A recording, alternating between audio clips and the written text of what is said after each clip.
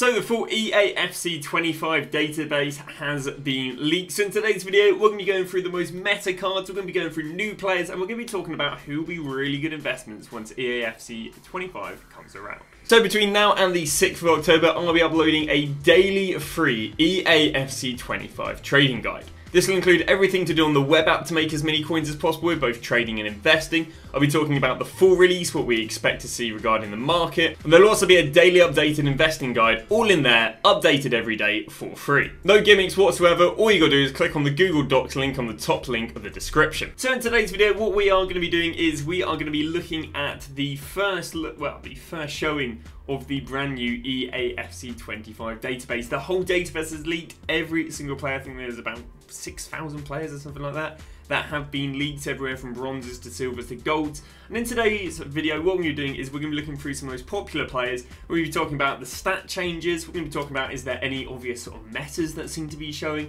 And we're going to be talking about prices of players uh, and also talking a little bit about investments. So I do have a collection of players. I'm going to start off with a few of the top end meta cards because it's always interesting seeing, you know, how are the uh, very popular cards that are probably stick in your team for a while, how have they changed from last year to this year. Talk a little bit about the pricing. Then we'll move on to some new sort of meta cards who's had nice upgrades and now is going to become slightly more expensive players and more meta. And finally we end off talking about some of the uh, brand new players into FIFA and what I think will happen with them.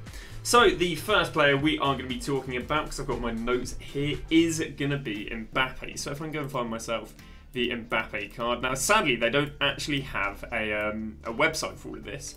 Uh, it would have been great if we just had a website, we could easily go from player to player. But the people who leak the database only have an iOS and an Android uh, app, so I'm not quite sure why they've done that. I don't know if that's because it's easy to monetize that or something, but yeah, so do bear in mind, uh, bear with, with me switching the players. So the first player we are going to be going through is Mbappe. No changes to the skill moves of the week for he's got the exact same playstyle as last year, or playstyle plus as last year. Uh, sadly, not all the players have playstyle pluses in terms of being leaked but uh, Mbappe does because he is one of the top players. So the interesting thing for Mbappe is he has zero face stat changes and zero in-game stat changes.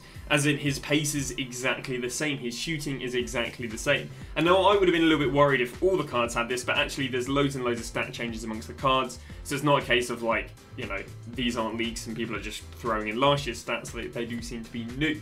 Uh, there's a few interesting things to talk about in terms of obviously Mbappe has gone from PSG to Real Madrid, and that really does improve his meta links a lot more. Yeah, PSG had players such as Marquinhos, they had Hakimi, which I think is probably one of the most meta out there, and they had Dembele, who again we'll actually talk about later in the video. But his links just aren't as good as Real Madrid. Real Madrid was a lot more of a sort of solid backline um, with you know a few sporadic players other than that. Uh, and on top of that, obviously, he does go and get himself them French La Liga links, perfect links, obviously, with Mendy, strong links to Griezmann, strong link to Koundé, if that's uh, overly desirable. But yeah, his links are definitely stronger, and that's going to increase his price uh, compared to what it was last year. There's also some things that will also increase his price compared to last year, such as, well, obviously it's subjective how it does, but last year he got a POTM in the first month of FIFA. And obviously if you got a POTM in the first month of FIFA, that's going to create a fair bit of panic when the voting comes around and then the anticipation around the SBC. And as a result, you know, that allowed him to drop a little bit faster than uh, this year. On top of that, one thing that works in the favour of him rising is he actually got a promo card in the second week. He got himself a Trailblazer promo card, which went and rose him. So last year, he was 3.2 million for the first two weeks of FIFA. And then after that, he dropped. Very interesting enough, he actually dropped one week before he got his promo card, and then obviously his gold card went out of packs. Um, now, again, this probably would have been down to uh, what's called the first weekend league starting, I believe, in the first week of October, and you know everyone was hyping him up, you know, getting him for the first weekend league as you do a 3.2 million coin card.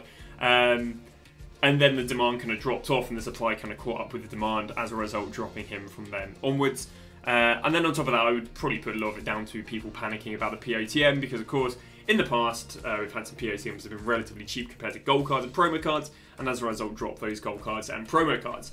But enough with that. How much do I think Mbappe is going to be? Well again two he was 3.2 million last year. I think if you're lucky you see him down at 3.5 million if not 4.5 million. What are the things that would allow him to be cheaper than 4.5 million? Other top end cards just being decent. I mean, we've already seen the icons and heroes, and I'll be honest, they're as good as any other year, really. Obviously, got like some Bale new in this year, and I think that's a super solid card.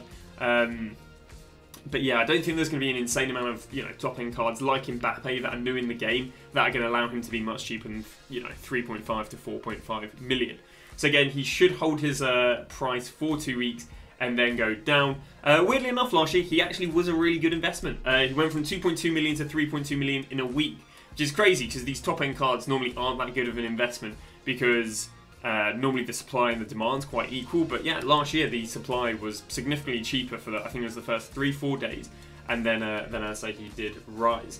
But I'd say that is about it. Again, maybe it comes down a little bit down to meta. I can't see how a 97 pace, a 90 shooting, and a 92 dribbling card doesn't end up being meta. But again, that would be the other thing that would change it.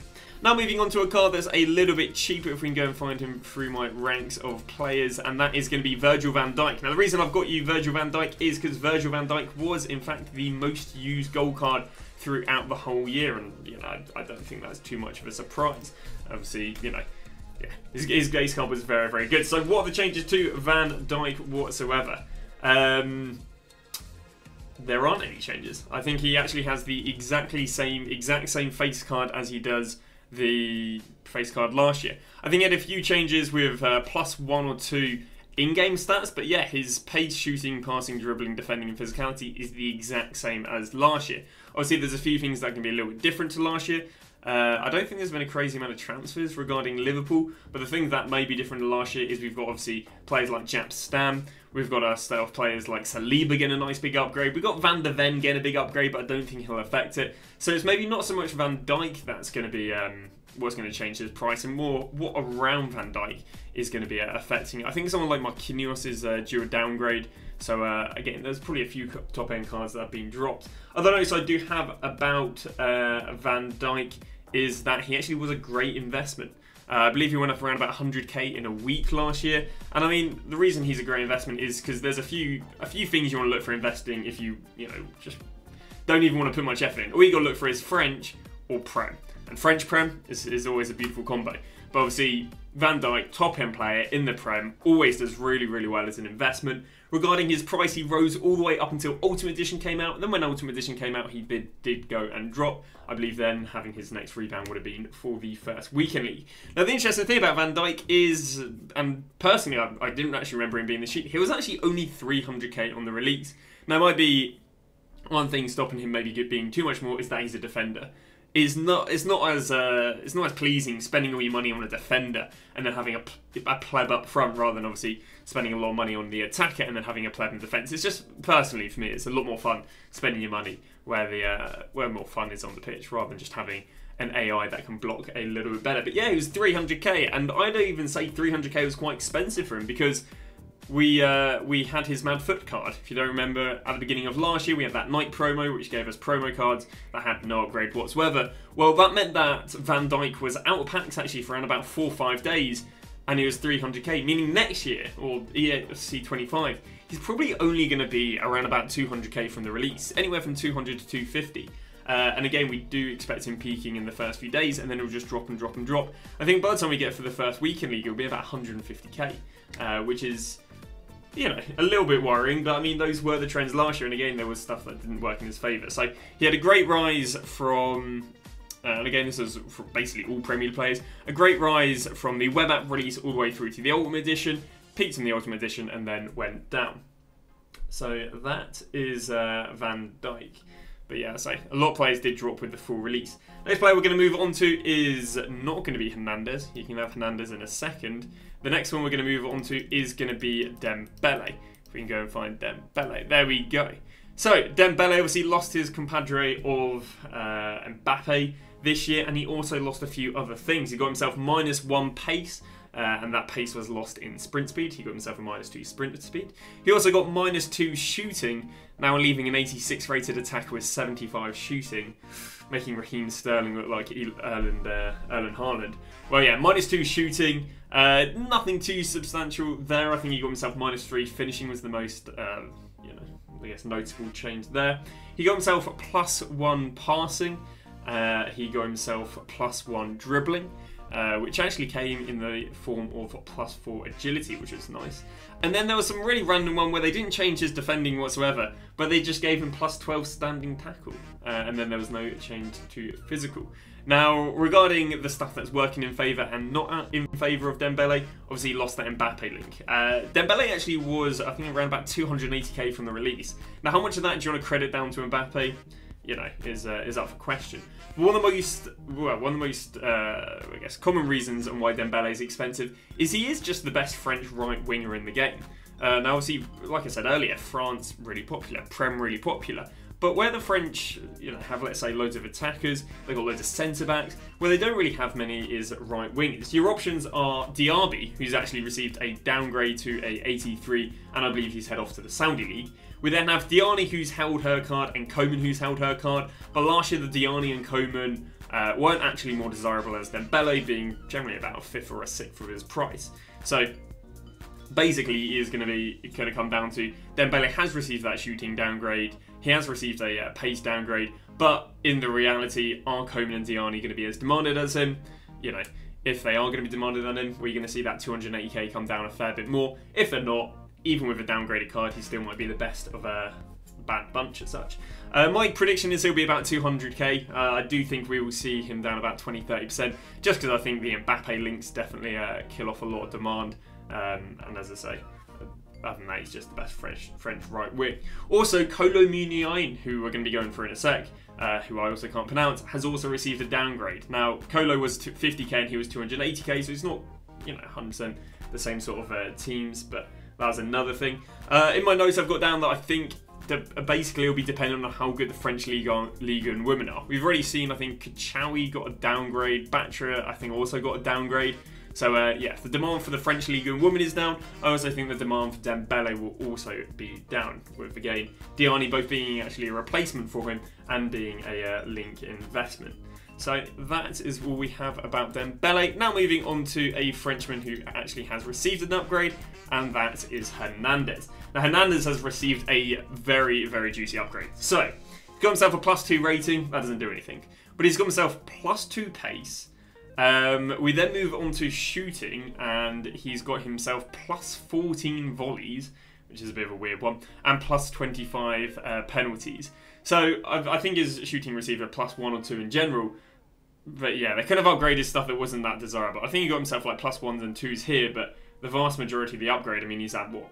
Plus 39 in-game stats on ugly two stats that no one really cares about. He got himself plus two passing. Sadly, with this again, the same sort of thing. Now, I've seen they've done this a fair bit to a fair few players. Is they've increased the passing. You think, oh, that's brilliant. You know, long passing, short passing. But that increase in passing literally just came for, to free kick accuracy and curve. Now, curve is obviously good on like whip corners and you know crosses and so on. But yeah, I mean, he received himself a plus 11 free kick accuracy. So there seems to be a bit of a facade in both actually shooting and passing, where they just increase the penalties and the free kick accuracy and the curve, which again are more for set pieces than in game. And as someone who literally passes all my set pieces off, I don't know, it just seems a bit of a useless upgrade for me. But yeah, got himself a big curve and free kick.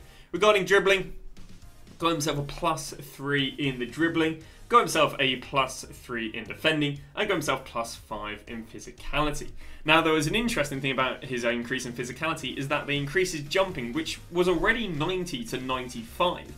Now, have they increased the jumping? Because I haven't seen this across the board on defenders. Obviously, they didn't increase Van Dijk, and again, we'll cover more defenders a bit.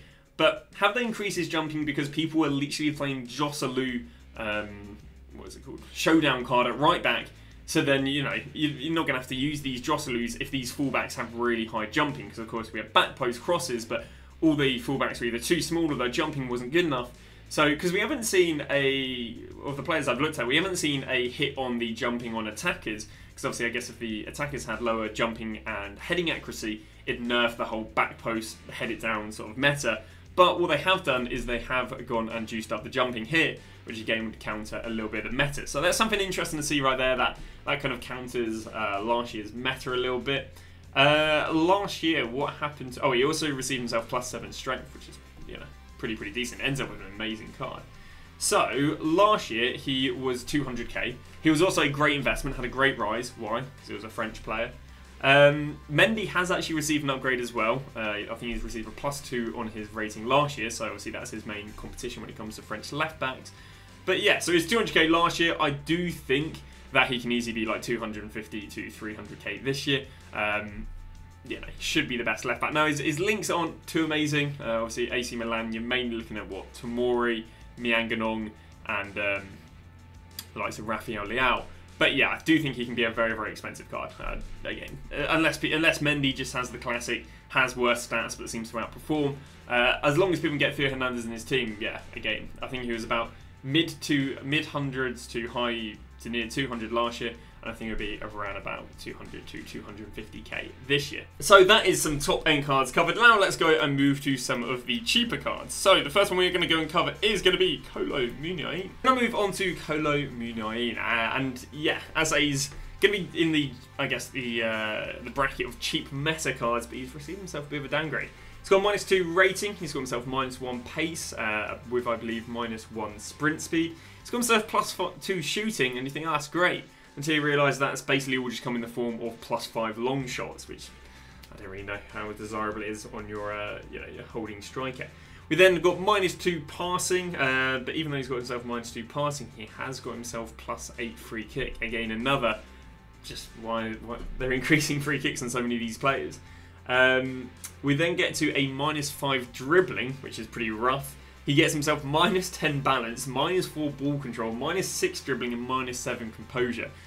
Which is rough, I'm not going to lie. Now, you don't really have too many options when it comes to French strikers, and we'll cover this a little bit when it comes to pricing. But yeah, that is a pretty heavy nerf on arguably one of the better uh, bottom to mid-range French strikers.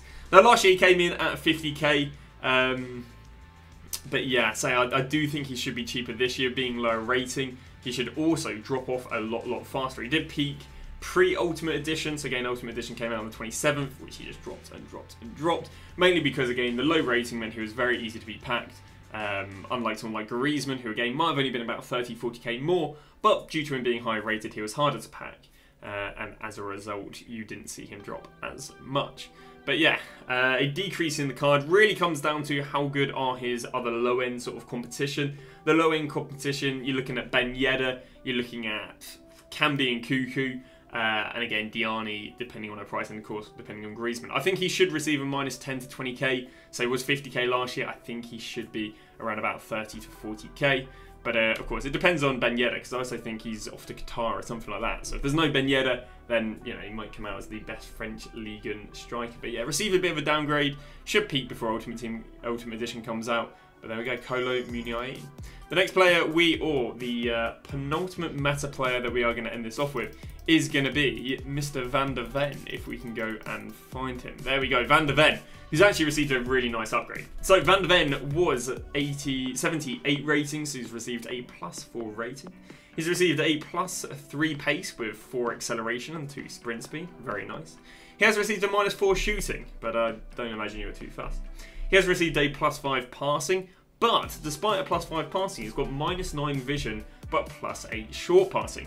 Now this is quite interesting because of course last year there was the meta of just using, I mean there's more so your fullbacks, but there was a meta of just pinging it between from your centre back out wide. So what they've done is they've increased the short passing, but basically with the minus 9 vision, decreased the long passing. So is this now to counter the second meta, I guess, of just pinging it from your left back to your right winger, uh, and so on and so on. Again, it was less over your centre backs, but increasing short passing and decreasing vision definitely, uh, you know, definitely seems to be kind of nerfing that sort of meta to an extent. Got himself plus four defending with plus one physical. Uh, and that kind of run rounds off his card. Now he was 19k last year. Um, he peaked one day earlier than a lot of the other cards. A lot of cards peaked on the 26th, one day for Ultimate Edition. He peaked on the 25th last year because again he was 78 rating. Now probably peaks one day before Ultimate Edition this year, so again the 26th. Um, because he's now got a plus four in his card, is definitely more desirable than uh, last year of basically you know increases across the board. I'd say it'd be about 40 to 60k when the game comes out. Uh, I'd say this of the prediction of Saliba last year. Saliba was coming around about 40 to 60k. Definitely didn't have as good of a card, but he was French. You know, Saliba having French trade off with probably Van der Ven having a slightly better card. You know, uh, I think I think it's a fair uh, fair sort of prediction. Uh, regarding him being an investment, uh, Van der Ven should be a really good investment. Uh, again, the problem he had last year, and again, he seemed to be a decent investment last year, was that he crashed a day earlier than everyone else. But I say, due to him being high rating, having higher supply should be a really good investment and should see him rise between the web app and the Ultimate Edition.